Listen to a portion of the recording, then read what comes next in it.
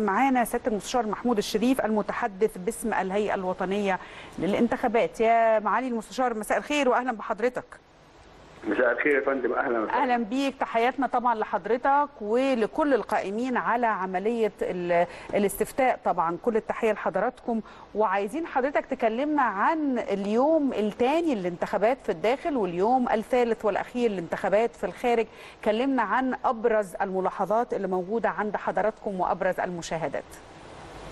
يعني خليني في البداية أقول لحضرتك إنه آه، الهيئة الوطنية للانتخابات آه، تابعت من خلال غرفة العمليات عملية الاستفتاء في اليوم الثاني الداخل واليوم الثالث والأخير في خارج مصر وعملية الاستفتاء والتصويت بدأت منذ التاسعة صباحا وكان التصويت يسير بشكل منتظم جدا.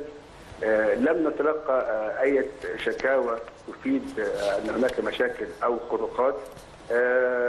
كانت كل الاستفسارات التي تلقتها غرفة العمليات حول مكان اللجان قربها أو بعدها أو معرفة مكان اللجنه. إنما آه، كان الملفت الحقيقة وليس ملفتا ولم يكن ملفتا للهيئة الوطنية أو غرفه العمليات فقط إنما كان ملفت للعالم يعني إقبال المصريين منذ اللحظة الأولى والساعات الأولى في اليوم الأول للاستفتاء على التوافد على صناديق الانتخاب كان بشكل واضح وكثيف أمام كل اللجان على مستوى الجمهورية مما دعا السادة القضاه والسادة الموظفين المنظمين لعملية الاستفتاء أن يطلبوا آه، آه، ما ما يساعدهم، الحقيقة دفعت الهيئة بعدد من السادة القضاه في عدد من اللجان لمساعدة زملائهم لمواجهة هذا الإقبال.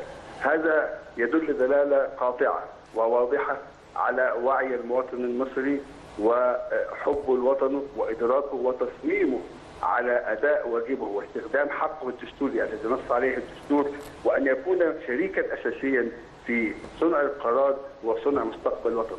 الحقيقة التواجد أمام لجان آه، صناديق الاقتراع يعبر عن رأيه كما يريد وعلينا نحن أن ننقذ رغبات الشعب كما هي فنحن امناء عليها و و و ولن يكن هناك ما يعكر صفو العملية اطلاقا.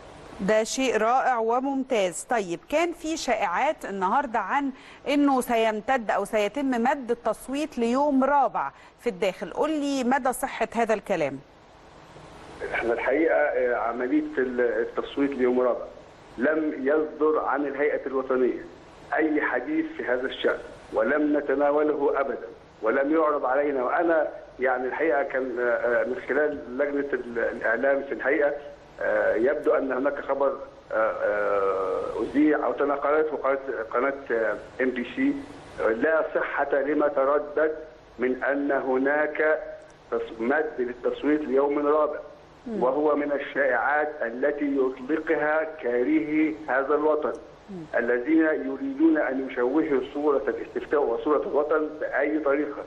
يحاولون الحقيقة يحاولون أن يستدعوا المواطن حتى يتكاسل عن أداء واجبه وإن كان زخم وتوافد وازدحام المواطنين أمام اللجان منذ اللحظة الأولى رد على كاره هذا الوطن فيما يطلقونه من شائعات إنما لا صحة لما يتردد من أن هناك مد مد اليوم الرابع ولم تتناول الهيئة الوطنية الآن أمام. اليوم هذه الشائعة اطلاقا. تمام. اذا التصويت آه، داخل مصر ينتهي يوم آه، الغد اللي هو يوم الاثنين في الساعة التاسعة. مساء إلا إذا ما تواجد ناخبون داخل الحرم الانتخابي أيوة. يظل ويستمر العمل باللجان حتى ينتهي آخر ناخب من الإدلاء بصوته. هايل. طيب آخر حاجة أسأل حضرتك عليها سياده المستشار كان آه، في أيضا النهارده تردد إن عدد المنظمات قليل ولا يتجاوز الأربع منظمات حقوقية. آه، حقيقة هذا الكلام إيه؟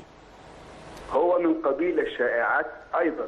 وقلنا أنه الهيئة الوطنية للانتخابات ترحب بمتابعة كل منظمات المجتمع المدني دولية أو محلية. وتقدم لنا 80 منظمة ما بين 22 دولي و55 محلي وثلاث مجالس قومية من ال- ال- الدولي على سبيل المثال الاتحاد الأوروبي. قبلنا كل هذه المنظمات طالما توفرت فيها الشروط القانونية. أيضا وسائل الإعلام 152 دولي و40 محلي من الدولي Washington Post Sky News CNN إحنا قلنا زي ما قلت لحضرتك من شوية ليس لدينا ما نخفيه حتى نرفض أحد. الصورة واضحة وجلية للعالم أجمع وإن المصريين الحقيقة ضربوا مثالا للروعة وللوطنية وللاتحاد حتى اتحدوا في أعيادهم النهارده نصف شعبان وعيد وعيد للإخوة المسيحيين اتحاد المصريين في أعيادهم اتحاد المصريين في مناسباتهم الوطنية اتحاد المصريين في اتخاذ قرارهم اتحاد المصريين في النزول لصناديق الاقتراع ليقولوا رأيهم الحقيقة إحنا بنرحب بالمتابعة وهذه المنظمات التي قدمت قبلناها و و وتتابع بشكل آه، آه، واقعي على أرض ال- ال- ال- الواقع. وعاوز أقول إنه يعني آه، السادة المواطنين الذين لهم حق الانتخاب يتواجدون كما ضربوا ال- اليوم والأمس أروع مثال في الوطنية في استخدام الحق لديكم اليوم الثالث غدا أن تتوجهوا لصناديق الانتخاب باستعمال استخدام حقكم وأداء واجب- واجبكم الدستوري نحو وطنكم فأنتم تشاركون في صنع القرار تشارك- تشاركون في صنع آه، تاريخ ومستقبل وطني. طيب آه، آه، معلش بقى آخر سؤال المرة دي. إعلان النتائج هيكون بحد أقصى إمتى إن شاء الله يا معالي المستشار؟ طبقا للمادة 51 من قانون مباشره الحقوق السياسيه أحب أقول اولا انه الهيئة الوطنية دون غيرها هي المعنية بإعلان النتائج وطبقا لما ورد في الجدول الزمني أن ال- النتيجة سوف تكون في موعد أقصى 27 أبريل يعني خمسة أيام طبقا لما قال قرر القانون بعد انتهاء التصويت. خمسة أيام من وصول أوراق العملية الانتخابية أو عملية الاستفتاء إلى الهيئة. إذا انتهينا آه، يوم الاثنين غدا في خلال خمسة أيام قد يكون في أولها يعني الثلاث الأربع الخميس كل هذه الأيام وارد أن تكون فيها نتيجة حسب وصول النتائج الخارج ووصول النتائج الد- الداخل. إن شاء الله. شكرا جزيلا لحضرتك آه، سيادة المستشار محمود الشريف المتحدث باسم الهيئة الوطنية للانتخابات. شكرا لحضرتك شكرا جزيلا.